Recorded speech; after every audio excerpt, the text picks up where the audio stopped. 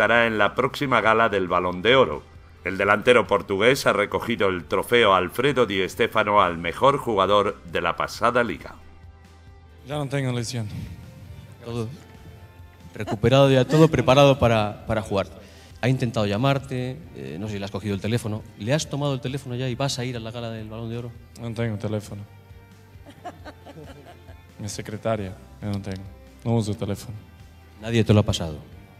La información, ese, ese tipo de información no me llega. ¿Vas a ir a Zurich? Lo más importante disfrutar de este premio de marca con el gran señor Di Stefano que con mucho sacrificio ha venido aquí a me entregar que, que a mí me deja muy contento y eso que, que tengo que valorar.